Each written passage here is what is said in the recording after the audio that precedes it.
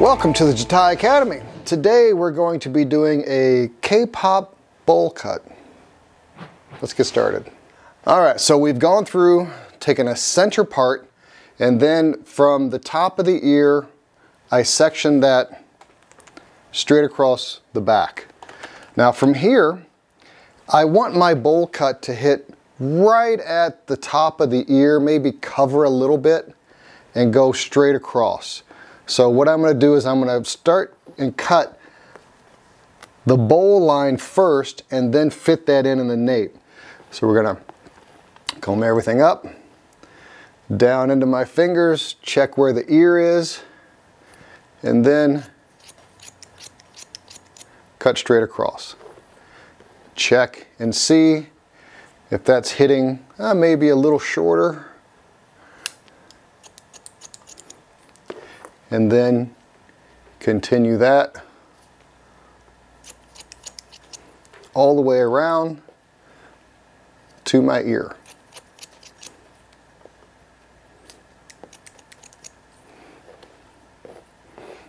All I'm focusing on is making sure that that line where my bowl is going to be is straight.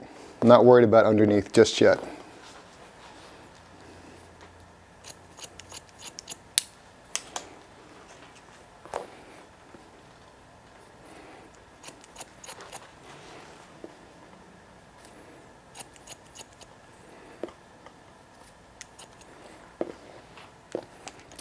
Now at this point, depending upon how close and cropped I want this underneath, I can either scissor over comb or I can pull this section out and then cut in my fingers all the way down and graduate that. But I'm gonna take it kind of tight, so I'm gonna scissor over comb it.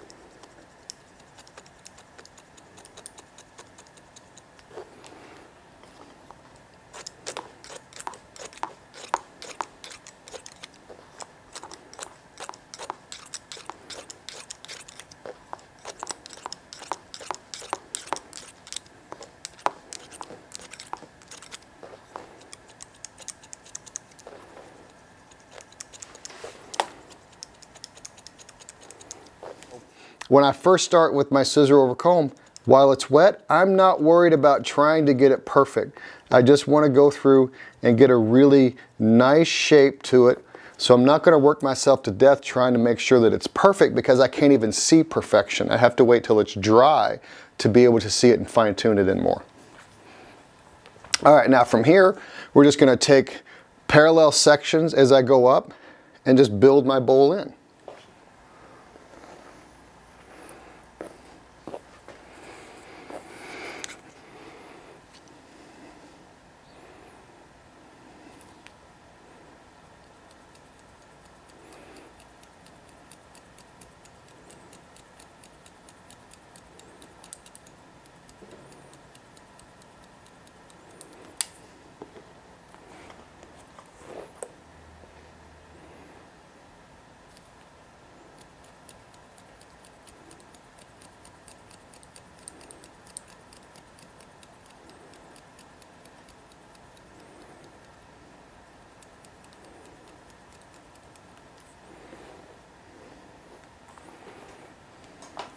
Come here, baby.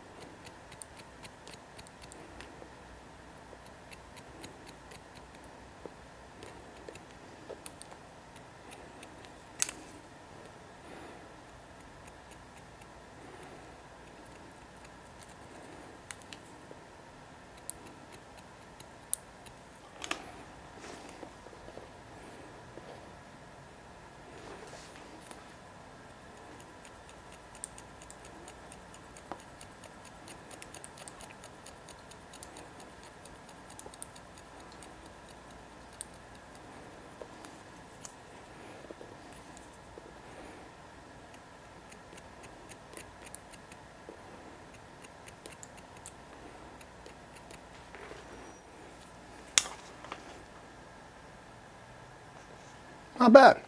Not bad. All right, so next section. So the first section I cut blunt. The next section I went through in point cut because I want to make sure that my line is still solid, but I want to soften it up. The softer that the line is, the less perfect that I have to be. And this shape here that I want, I want it to be kind of soft, but still solid. So point cutting these couple of sections will help soften that line up.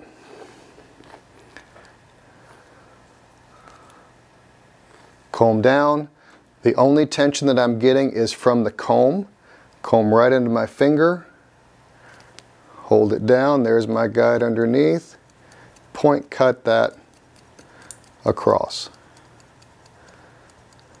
One thing I want to avoid is combing into my finger and turning my fingers towards me. If I turn my finger towards me, it's actually going to cut the top layer slightly shorter than the underneath layer and it's going to cause the hair to flip and shift. So I want to keep this as blunt as I can. Well, I want to keep the shape as neutral as I can without introducing any kind of flips or shifts. Straight down. Here's my line.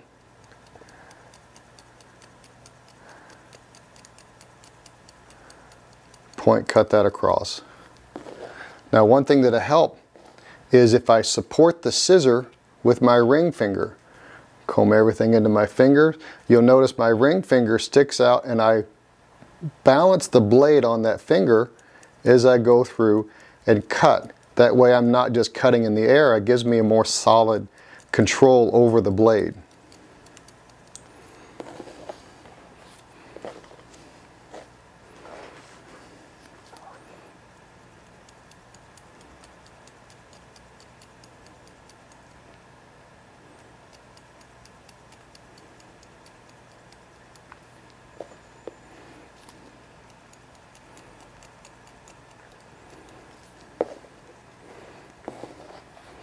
Oh, now we're beginning to get a nice little bowl shape there.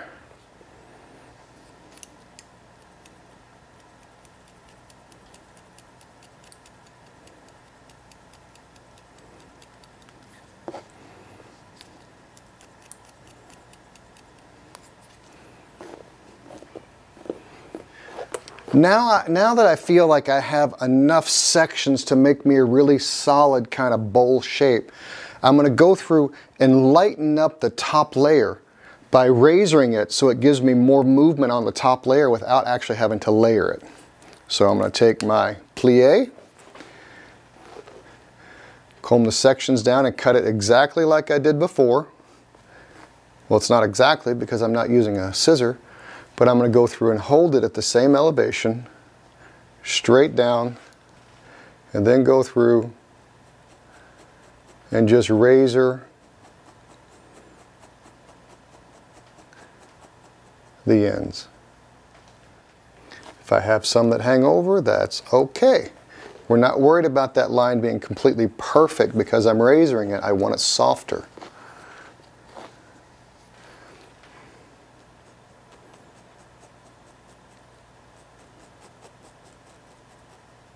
Come on, come on, come on.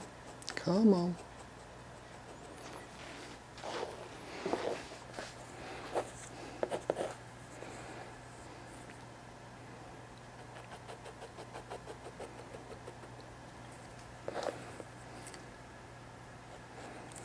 Ooh. All right, after a little mishap and a little a little boo-boo, we're going to continue on. All right. We're going to continue around to the other side and just follow the same pattern that we were doing and the same thing for the last section.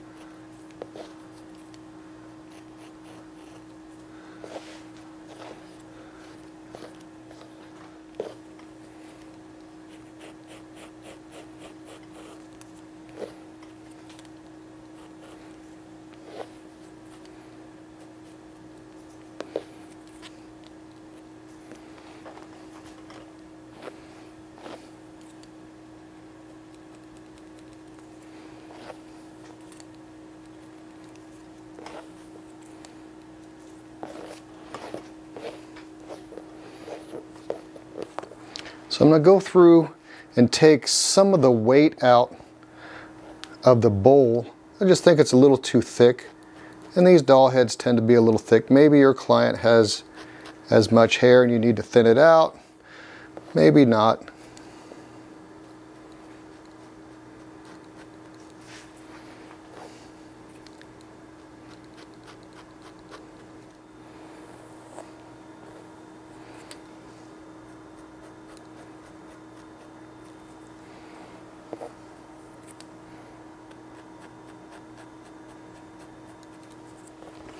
So now let's go through and fine tune our scissor over comb work that we did. Now, I can approach this in two different ways.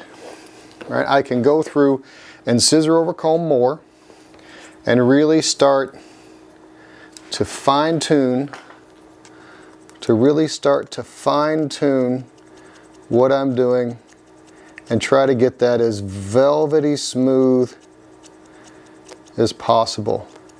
Now remember that I'm just stacking this all the way up. If by chance I get this kind of pokey ridge, then what I'll want to do is take and bevel that little corner right there. So I can take all of this hair of my bowl, pin that up out of the way, and then when I start to scissor over comb this section, Instead of going right up and blending, I'm going to go over and bevel that top corner a little bit so that the other hair will actually lay down over it and it will lay much smoother without getting that kind of pokey kind of bevel that sticks out. Another way, another approach I can do is I can use my Tokyo thinning scissors. Now if I'm going to do the thinning scissor, I'm going to start with the cutting blade underneath and I basically just want to trace what's already there. I'm not trying to go through and thin the hair. I'm just going through and tracing just the very tips and that will go through and blend everything away in a much smoother way and be a lot more effortless than me having to go through with my straight scissor and scissor over comb this to where it's absolutely perfect. So this is kind of a, a way of cheating, but not so much cheating, just another technique. If the section right over the ear starts to get too pokey, then what I'll do is I'll undercut that. I can undercut that by taking it all the way to the skin and have the other hair lay over it, or I can undercut it just by taking the weight out of it. If I take the thinning scissors with my cutting blade underneath, I can go through and just basically, oops, I, I can basically just thin that out so it takes that resiliency out of it. So when the other hair lays on top of it, it takes some of that pokiness away without actually taking all the hair underneath of it away.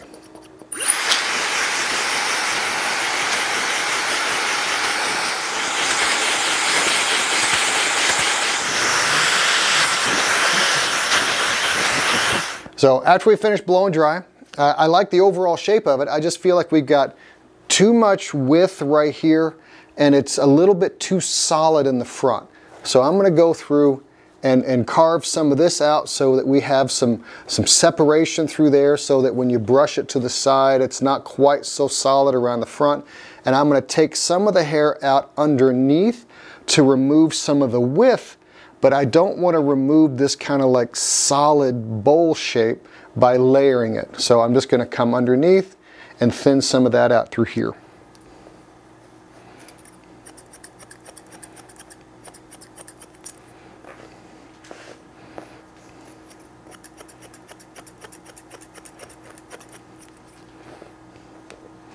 That seems to be working a little bit better. Yeah, I like that better. Take a little right back here behind the ear. Do the same here on the other side, but maybe not as much. I think it was thicker on that side, but wherever you have a heavier part, that's not uncommon.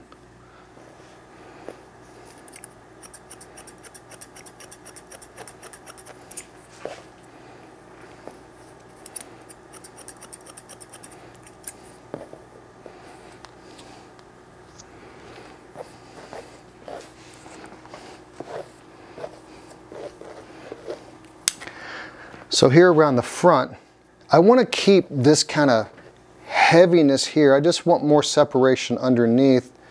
So I'm just going to take the underneath hair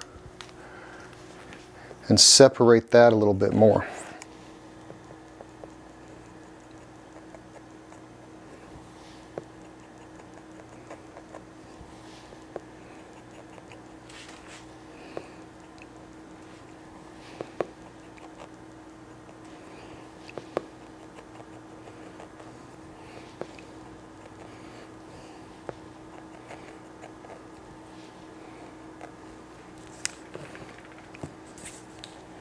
Oops, we got a little too much there in the middle, but that's okay.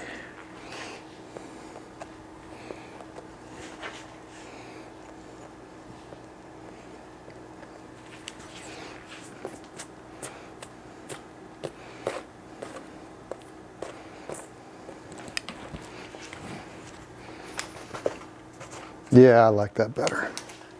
All right, here is my version of a K-pop bowl cut. You could obviously do shorter, do longer, perm it. You know, most of the time those guys have a real slight little perm to give it a little bit of movement to it as well. And you could probably do with a perm, so we'll book that next week. And uh, I think the end result looks pretty good. Nice cropped in, you could take that shorter if you wanted. Nice little flow around the front. So check out the Jatai Academy for more content like this. Leave a comment and uh, let me know what you want to see, and we'll see you next time. Thanks.